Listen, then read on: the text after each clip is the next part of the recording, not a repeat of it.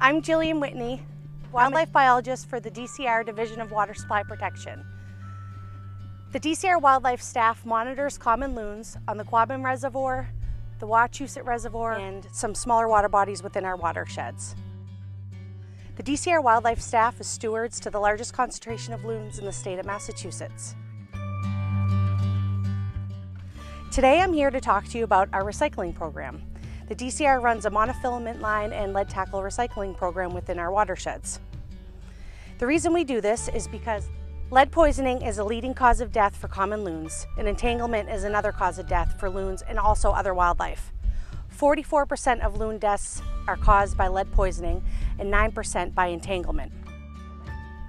In 2007, the DCR started a monofilament line recycling program. This program educated anglers on proper disposal of fishing line and gave them places to dispose the fishing line. In 2017, we added the lead tackle recycling program. In Massachusetts, any lead tackle under an ounce is illegal to use, and today there are lots of alternatives. So if you launch your boat here at the Quabbin Reservoir, if you fish the shoreline here, if you fish the shoreline of Wachusett Reservoir or along, around the Ware River watershed, you're probably likely going to come across some of these canisters. This one, the larger ones, are for the monofilament line recycling only, and these are for the lead tackle recycling only, please. And we're gonna see what's in these today.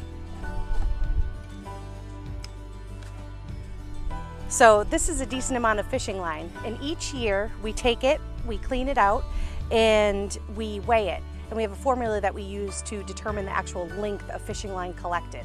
And on average, we collect about 25 miles a year. For the lead, we do the same. We weigh it out and get, in get about three pounds to 13 pounds a year. As you can see, a piece of lead this size and even smaller is enough to kill a loon, even an eagle and other wildlife. So just out of this canister alone today, we've collected a very good amount of lead and fishing line.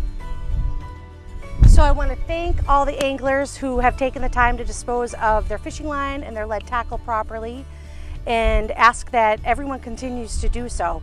And take a look in your tackle boxes because I'm sure you might find some lead tackle in there. And thank you very much.